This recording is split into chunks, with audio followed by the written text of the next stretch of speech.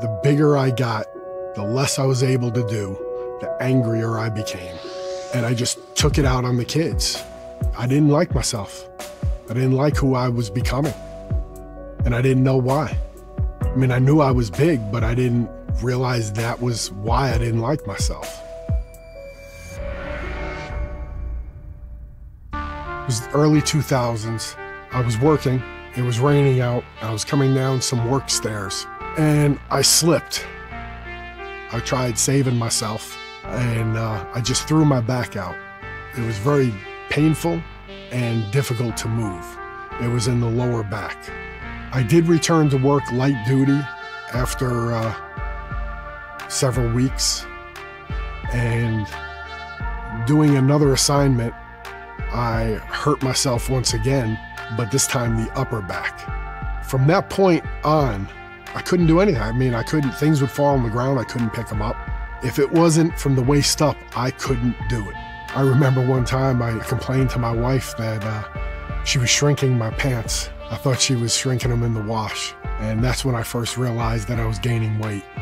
I would eat more, which would put more pressure on my back, which would cause more pain. My spine started fusing to alleviate the pain. So now, now I have very little mobility, um, bending and moving. I fluctuated between uh, 300 and, and 410. Going into the doctor's offices, I mean, they, they obviously all said, you need to lose weight. It'll help alleviate the pain on your back. And they give you the little pyramid, the food pyramid, and say, here, eat this. I don't want to hear about a little pyramid and food rations or portions. I wanted to eat. I started becoming resentful because I couldn't be the man that I was supposed to be, the father, the husband, just an all around man that I was supposed to be. And it started taking its toll on, on me mentally. And as the years went on, the more I hurt, the angrier I got, and the more I took it out on my family. My comfort was food. So I would just eat more, which didn't help but hurt the problem. The cycle just continued over and over again. I became angrier. I was pushing people away because I just didn't want them to be like me, to end up like me. My son, he was severely hurt coming home on a school bus.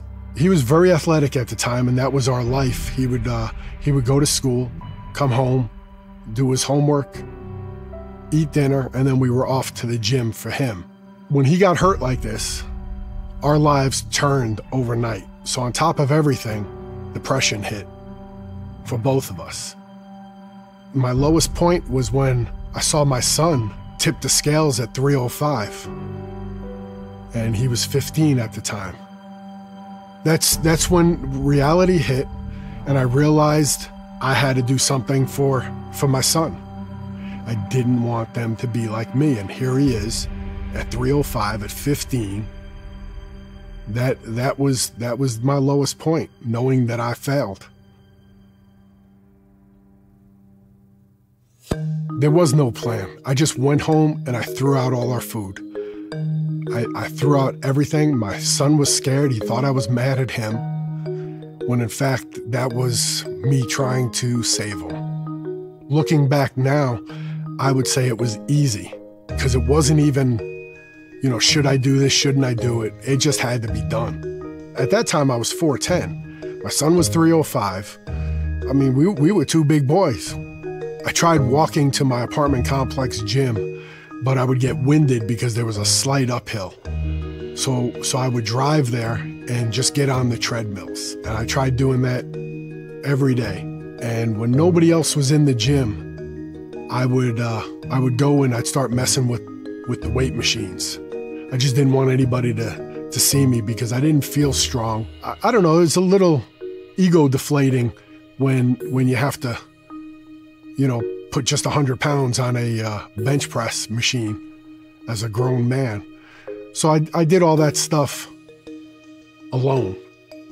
And, um, but I didn't touch the weights until I was under 300 pounds. you want it to happen quick, and and it doesn't. It's um, but looking back now, you know, it it took two decades to put on the weight, so losing it in 18 months is pretty good. When people look at me now, it's for different reasons. Before it was laughing at me, you know, behind my back, and and now people look and you know they don't they they just they don't know what's happened. There is no such thing as a diet. I mean, when when people say diet, the average person says, "Well, I'm going to start today and end when I lose 10 pounds," or you know, I'll do it for two months, and then they go back to their old habits. You have to change that that way of thinking. It's it's a lifestyle.